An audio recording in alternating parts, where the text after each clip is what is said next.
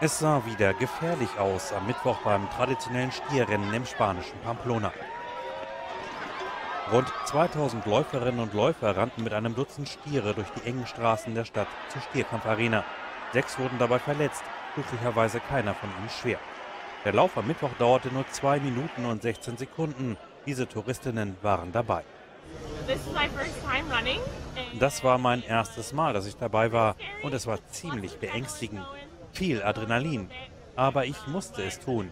Jetzt bin ich froh, dass es vorbei ist. Es hat viel Spaß gemacht. Es war natürlich nervenaufreibend, aber als es losging, waren wir an einer Stelle, die nicht so gefährlich war. Es war also relativ sicher. Aber ich bin froh, dass ich es gemacht habe. Das war ein Adrenalinschub. Die Stierhatz ist Teil des jährlichen San Fermin Festivals. Das Fest zieht jedes Jahr Hunderttausende Besucher aus dem In- und Ausland an. Vor allem junge Männer, oft angetrunken, suchen bei den Rennen den Nervenkitzel. Die Stierhatz wird auch jedes Jahr von Protesten von Tierschützern begleitet, denn auf die Stiere wartet in der Arena der sichere Tod. Am Donnerstag soll es in Pamplona den letzten Stierlauf in diesem Jahr geben.